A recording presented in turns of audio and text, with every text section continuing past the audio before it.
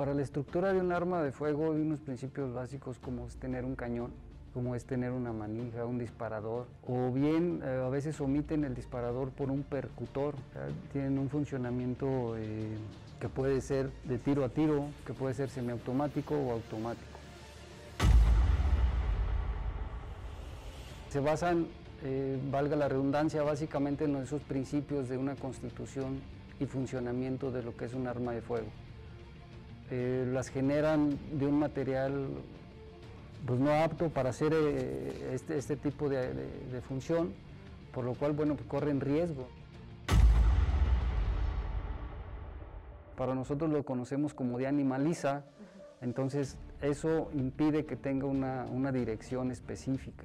Es un temple, un temple distinto, toda vez que bueno, pues es, es, para también de acuerdo al calibre, la cantidad de pólvora que se tiene en los cartuchos, que se detonan, es la fuerza de proyección que, emiten. Entonces, las armas en una, en una fábrica específica son creadas para el calibre, para soportar esa fuerza de proyección que se genera en la balística interior.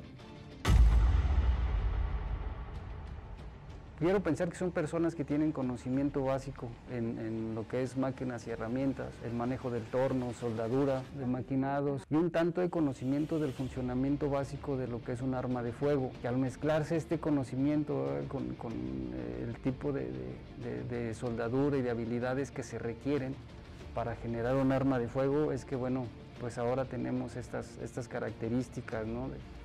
De, armas eh, de fabricación artesanal y, que son este, regularmente utilizadas pues a veces tanto en riñas con adversarios pandilleriles o para cometer algún, algún ilícito.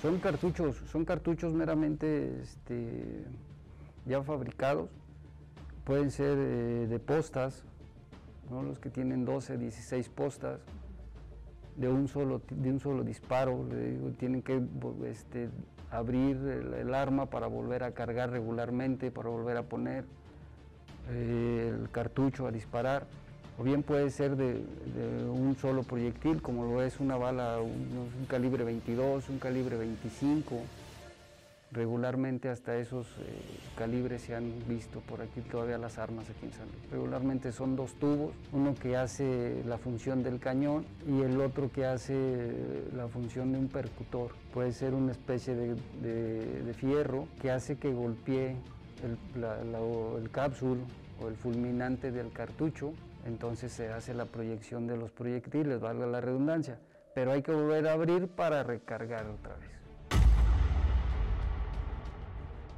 El material con que lo hace no es el apropiado, no tiene la, constitución física para hacer y soportar los gases de proyección, entonces pueden ellos mismos sufrir una lesión. Pudiera tener un abombamiento en su cañón, pudiera hacer que se queme el propio este, usuario, su mano, pero sí puede tener, inclusive hasta la dirección del proyectil puede salir, eh, valga la redundancia, proyectado hacia una dirección no deseada.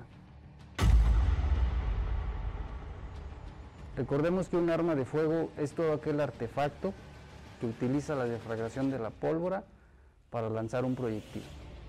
Entonces sí entra, sí está estipulado, si a la hora de hacer las pruebas periciales el artefacto que se presenta como arma detona, es un arma de fuego.